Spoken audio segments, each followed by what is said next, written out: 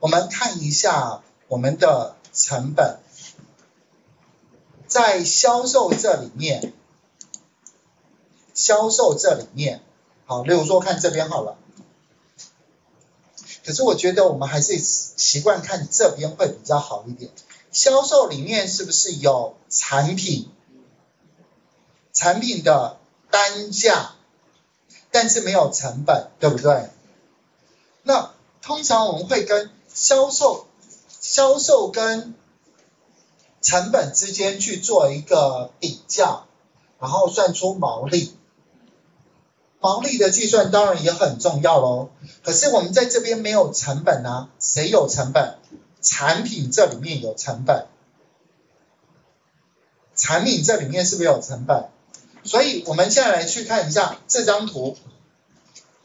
当我这里面我想要用成本的时候，我是不是这里面的成本要重复出现很多次？因为这个关系是一对多嘛，哦，所以。这里面的产品绝对重复出现好多次，相对的这个成本也是要相对的重复出现很多次。好，这应该没有问题哦。那用的关系是什么呢？在以前我们可能知道是一个叫做 VLOOKUP 来去查询，对不对？就是你在 Excel 的时候，你绝对是用查找资料，我们就来。试试看，VLOOKUP。首先呢，回到这个资料表，哪一张资料表呢？应该是销售这张资料表。销售这张资料表，我们是不是希望在这个地方每一格都要出现成本？例如说，这个印表机的成本，这个印表机的成本，以此类推。那所以怎么样出现？是不是又要再用什么新增？量值这边的新增资料行，这个资料行我们是不是可以显示成本两个字？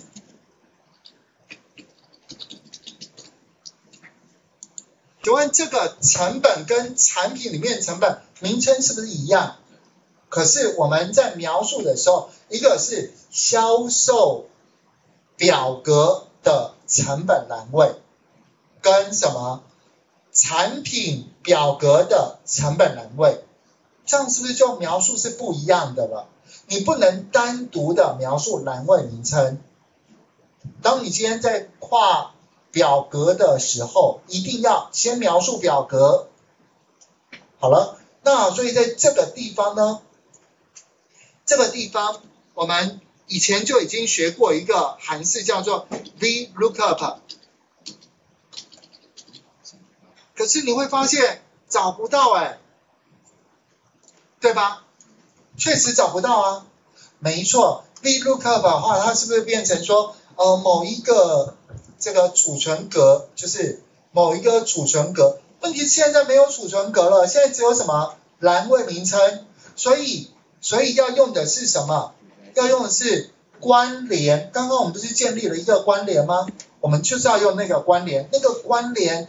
英文单字叫做 relate，好，所以你不要再用 VLOOKUP，也就是说，在这个里面，在这里面，其实以后你连 SUM 都用不到了，你用得到的是什么？SUM 差，我只能这样大概先告诉你了。以前我们就是储存格的计算去做加总，现在都不用了，现在你看它就直接帮你去计算。好。那我们现在来去看，是不是要换一个 R E L A 好 related，接下来呢，他就会问你说，哦，我们这个成本呢，它其实就 related 哪一个？是不是我们的产品产品里面的成本？有看到？他的意思是说，传回另外一个资料表中的相关值。好，右刮胡，结束，是不是就全部都帮你算出来了？有没有觉得好像比以前简单多了，容易多了，对吧？对了，我跟你讲，第一天你们不理我，到第五天在教城市设计的时候，好像你更不会想要理我。可是可是我真的要告诉你，没有 VLOOKUP 这件事情的原因，是因为 VLOOKUP 以前是不是要用一个储存格来当做是一个表格的查找？现在没有储存格了，主要是这个原因。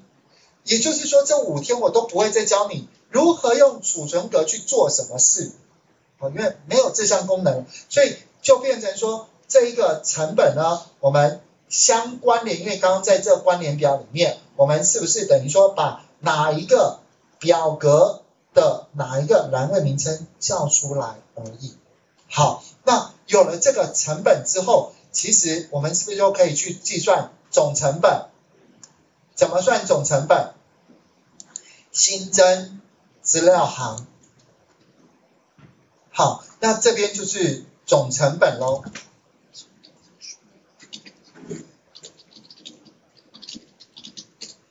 总成本等于我们的哪一个栏位？成本这个栏位乘我们的数量。这应该没有问题。